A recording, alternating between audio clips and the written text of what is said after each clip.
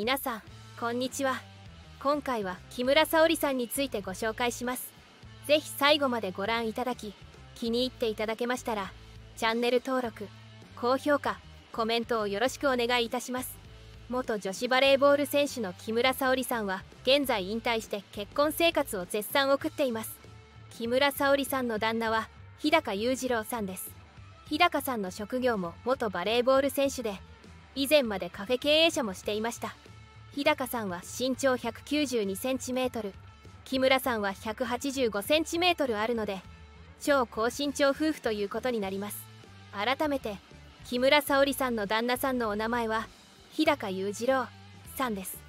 1986年11月21日生まれ日本体育大学出身で元バレーボール選手ビーチバレー選手をしていました。2014年にパナソニックパンサーズに入団してプレーをし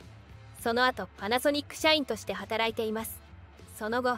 2016年12月31日に木村沙織さんとご結婚されました。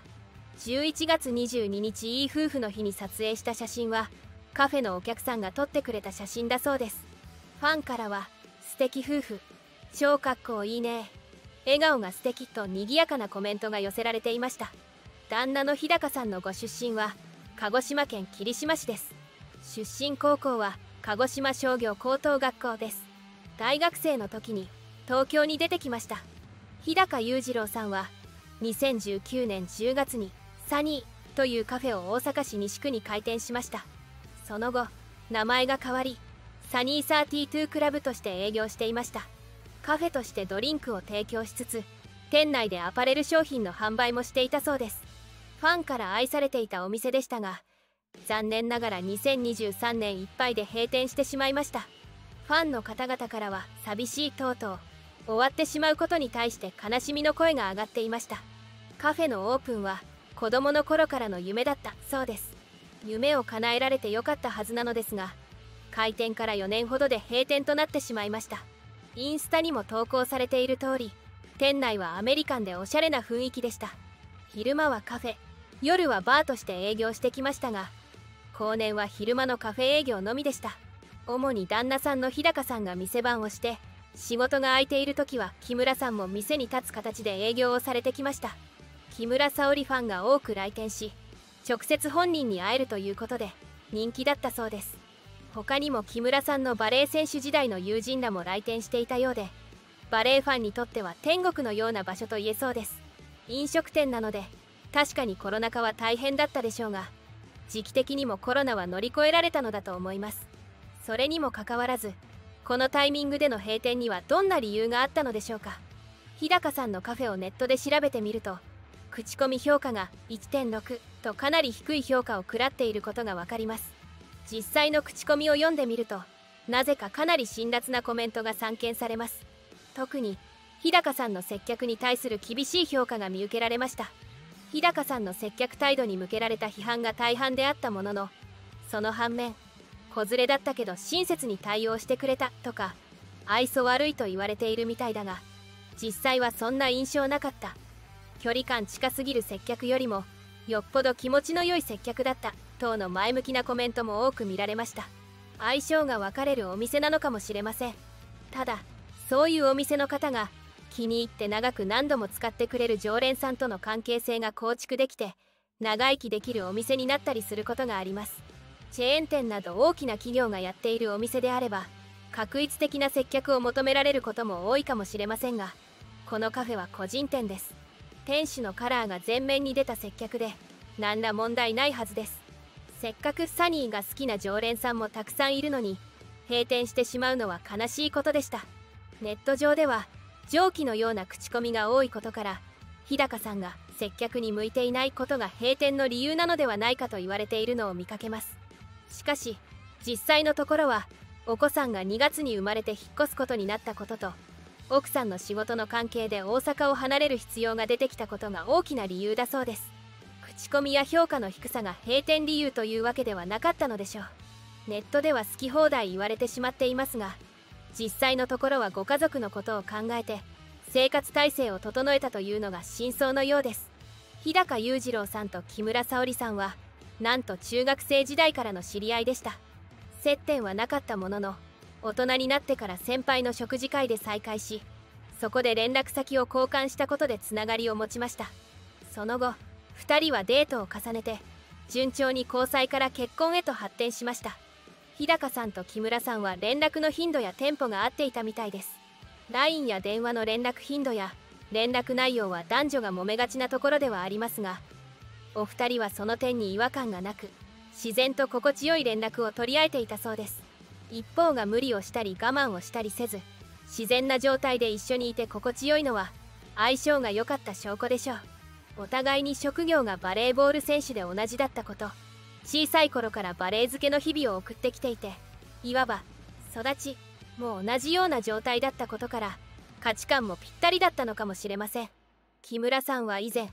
きな男性のタイプを身長の高い方とおっしゃっていたことがあります。ご自身が 185cm もありますから自分より大きな方を望むとなると候補は同じようなスポーツ選手になります。まさに日高さんがぴったりです。2016年のご結婚から結婚生活を継続されていて現在結婚7周年を迎えました。お子さんも生まれて良い夫婦仲を維持されているようです。インスタには日高さんと木村さんの仲良しでほっこりな日常が投稿され続けており今後も非常に楽しみです。木村さんと日高さんにはお子さんが1人います。2023年2月28日の朝4時頃 3316g で無事に誕生されました。お名前は木村幸太郎。くんです。男の子でおじいさんが命名したのだと言います。へその緒を2周首に巻いて出てきたそうで心配になったそうですが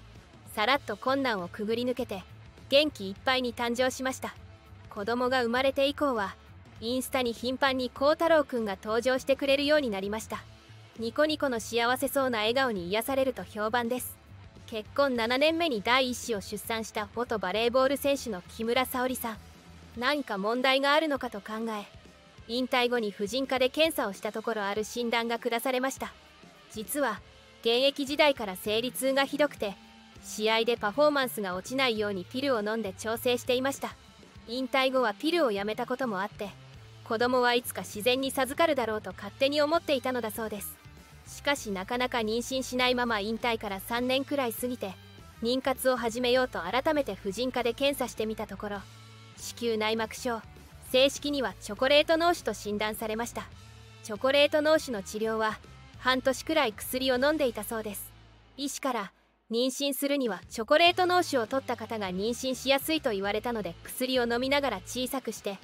手術で取る予定で日にちも決めていたそうです。しかし薬が合わなかったのかその後どんどんチョコレート脳腫が大きくなってしまって先生も驚いていたそうです。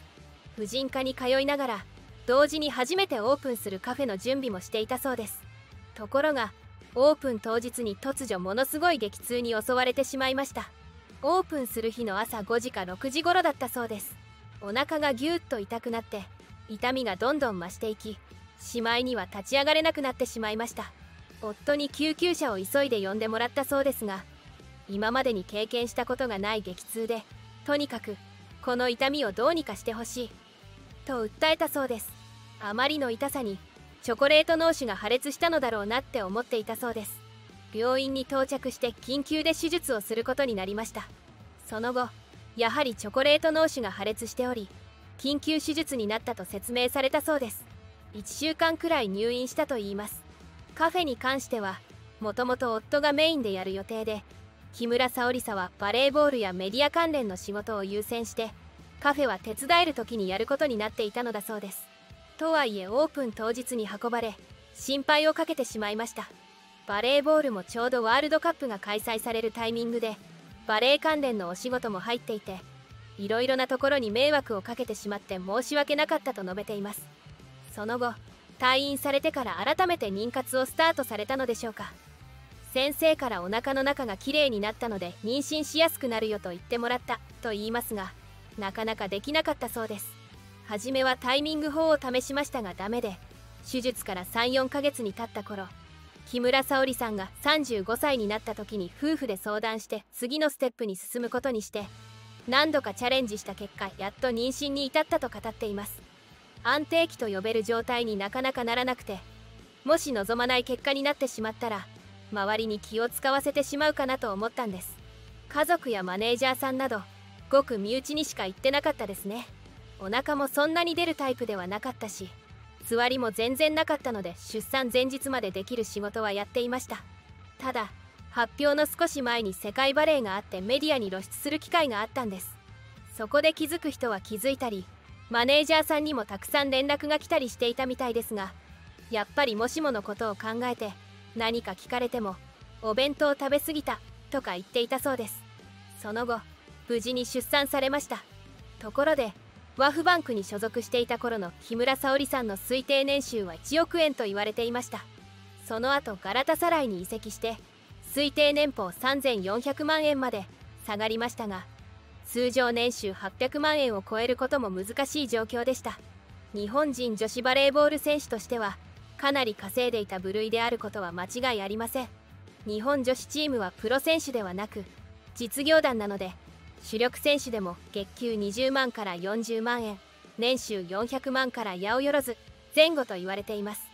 中にはごく少数でプロ契約を交わす選手もいるそうでその場合でも推定で800万から1000万円ほどです野球やサッカーに比べるとバレーボール選手の年収って意外と少ないことが分かります実業団の選手は昼間は普通に仕事をしているケースが多く全日本代表の江畑選手なども日立リバーレ時代は昼間は事務員として事務作業の仕事をしていたそうです。木村選手の場合はプロ契約なので推定年収は1000万円超ではないかと推定されています。当時の全日本のキャプテンを務めたりいろんなメディアにも出演していることから実際はもっと多いことが予想されていますがリーグ戦で優勝したり個人賞などを獲得すると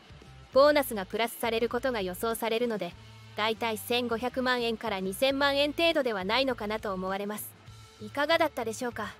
今回は引退後の木村沙織さんの私生活を主に見てきました。バレエの技術も凄まじくその技術は世界から恐れられていて実戦での活躍も華々しい選手でした。出産後我が子が元気よく泣いている姿を見て無事に生まれてきてよかったなってそれまで何回も夫に今日もできなかったっていうのが悲しかったのもあるし本当に良かった。今こうして話をしていても涙が出てきそうなんですけどと嬉しさと幸せに満ち溢れている様子が伝わってきました。今後は夫婦揃って新天地での生活とのことで大変だとは思いますがお子さんの成長を見守りながら家族仲良く過ごしてほしいところです。皆さんの意見をぜひコメントで教えてください。ご視聴ありがとうございました。この動画が気に入っていただけましたら